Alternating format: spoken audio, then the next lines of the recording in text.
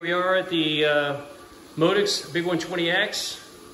I do four foot by two foot by two foot, and I'm getting ready to do a pretty decent sized print. This guy is gonna be almost four feet long, about uh, five or six inches high, and eight to 10 inches wide.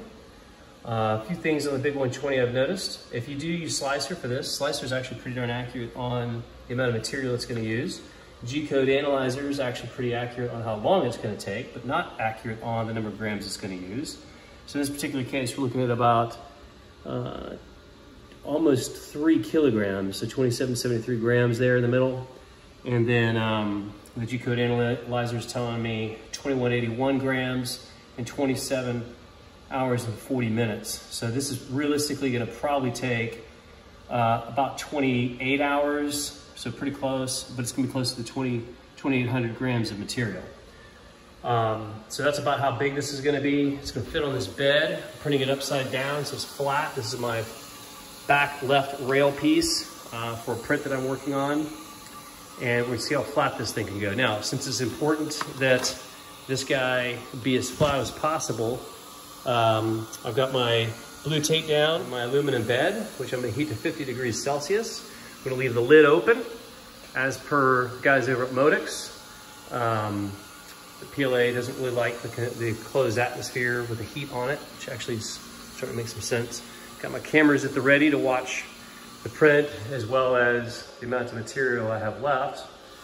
And I'm gonna use some 600 on this one because I really want this one to be pretty flat. And they're generally pretty flat. I'm gonna use some 600 grit sandpaper on here and especially scratch these ends up. It's not going to warp very much on this printer with a heated bed, uh, but I wanna make sure that it stays as, as flat as possible. So I'm gonna use this uh, 600 grit on here and then do some rubbing alcohol on it and then um, set my printer up for 50 degrees Celsius and then we're gonna see what happens. All right, here we go. All right, we're all set up to 50 Celsius, completely leveled. Starting her off, we're running at uh, 210 degrees Celsius for this PLA. Since we're running a 1.2 millimeter nozzle, so we just should be doing some pretty big prints here. And uh, we will see how this works out.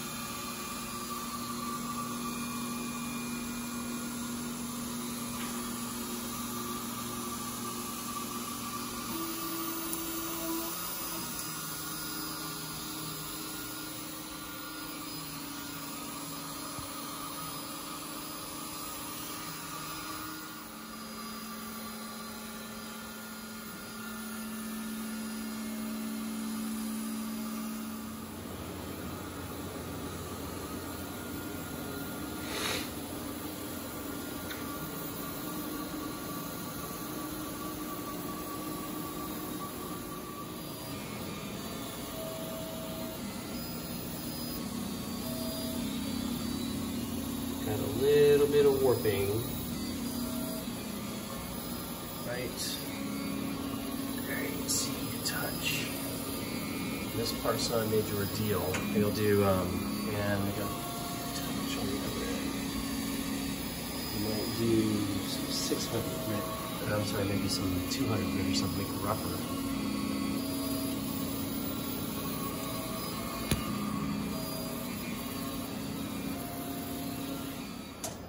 All right, there it is done. So we have a piece that's about uh, 40 inches long, just over, just over 40 inches long, fitting on a four foot long bed. Um, you can see about four and a half inches high at the highest point, and about six or seven inches in width. And um, so this comes out with a 1.2 millimeter nozzle and you can see the lines, but that's not too bad using PLA, uh, Hatchbox PLA, and some support material over here, which I'll need to take off. Shut the bed down so I can pull it off. And we have a li just a little bit of separation at the end here. So that's probably about two millimeters worth of warping and then a little bit on the other end as well. Now, what I'm gonna do on the next round is I'll use uh, some higher grit sandpaper to see if I can get it even flatter. But that's not too bad. That's with the, with the 12 inch uh, tape using um, just 600 grit and then a little bit of rubbing alcohol. All right, so that's uh, my biggest print so far with my, my Modix. Big 120. And then finally, this is the piece coming off, so uh, upside down. So uh, next time I do this, one thing on these, this big machine, is if you can print this thing sideways, you can have a little bit better results. Um, I've done that before, but I was trying to do it with as minimal support material as I could. But you can see like this side came out fine. Um, the top of it, this is actually the top. This is what was on the tape itself. That's not too bad. You can see these lines in here from the 1.2 millimeter nozzle. I can fill those in pretty easily. Um, so that's not too bad at all. And the sides came out fine. And then the bottom side, to reduce the amount of material, I'll put this inset in here. And you can see those lines there. But again, a lot of this I can fill in. You know, when I go to do some sort of primer coat, I can um, use some Bondo on here, um, or epoxy, more than likely some Bondo, and then sand it down real well, and that'll fill in any of these gaps. This really probably is not gonna be a final piece for me. Um, this is really just to make sure that this fits. And this piece here will slide into another piece that attaches at this other end to make a piece that's a lot longer. As you can see here, these didn't come out too well, but again, they're gonna join into another piece anyway, so this actually may help me. I'll take a heater on this and it'll kind of melt it, and I can shove it into the other one, it'll probably uh, bond pretty well. You can see my bolt hole here. And then this is my curve. So this was laying down here, and then had some support material coming up, which I've just chopped off. And you can see how with that 1.2, the definition is not awesome when you're doing a sharp curve, because I was trying to minimize the amount of support material. But again, if I were gonna use this piece, I could fill that in and smooth it down.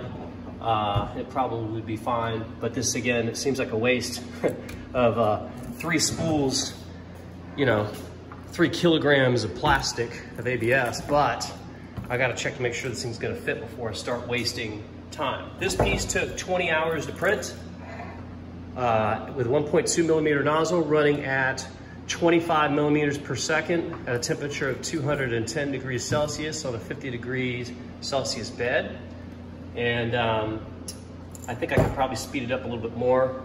But if I tried to do this with a 0.4 nozzle, this piece would probably take about 10 days. So um, kudos to the Modix machine for being able to put out one gigantic piece of, of, uh, of a print right here. Anyway, enjoy. I'll have more of these to come so you can see what I'm actually building. Thanks.